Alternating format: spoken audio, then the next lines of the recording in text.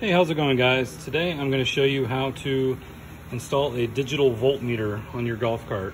So you can monitor how many volts your batteries have so you know when you need to charge it or if you're going to run out. So yeah, it should be a pretty simple process and we are going to get started. So we're looking here at the dash and I'm going to decide where I want to put the little uh, uh, display.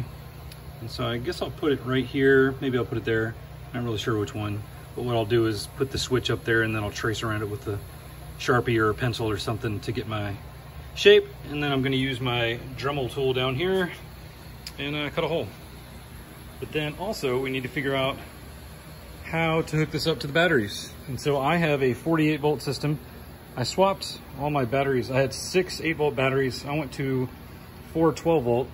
And so what you're gonna wanna do is go to the first positive in your series, which for me is right here. And then you wanna go to the last negative, which is over here. So we're gonna hook up the negative over there, the positive here.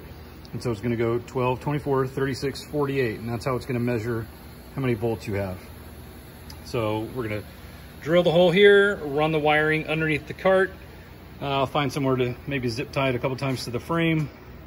And then, uh, yeah, we'll attach it to the battery terminals and we should be good to go. Right, you probably can't see it, but I have my outline done and now I've got my Dremel with a little cutting bit on it and I'm going to cut out the shape for the little uh, display. Well, I've got the hole cut. I kind of went off center a little bit. That's okay, it'll be just fine. Uh, so what I'm gonna do now is run the wiring on the switch uh, through there. I took one of the cup holders out so I have a little bit easier access. Then I will pull the wire down underneath the cart, go around, hook up to the batteries. Like a glove. Slightly off, no, it's pretty good. I, am pretty pleased with that. So what I'm gonna do now is run this wiring uh, underneath the cart. Then I'll pop around and get into the battery compartment. We'll get it hooked up and we should be good to go. I have the wire run and so what I'm gonna do now is remove the seat. It's pretty simple. Just lifts up and comes off these hinges.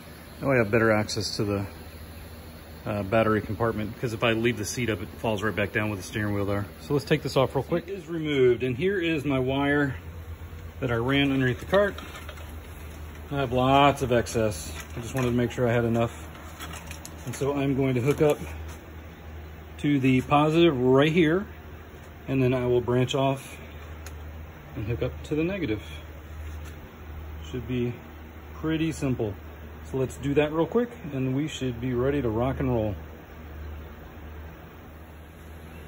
Another thing you want to remember is uh, which wire you had hooked up to uh, which side of the voltmeter there. So my positive, my red, I had hooked up to the one with the stripe on it. So I'm gonna make sure that is what gets hooked up to the positive. Well, I got it hooked up. Somehow I'm reading more than 48 volts. I'm not sure how that happened. Uh, maybe the batteries got overcharged. I have no idea. I'm not an electrician. Don't understand all that.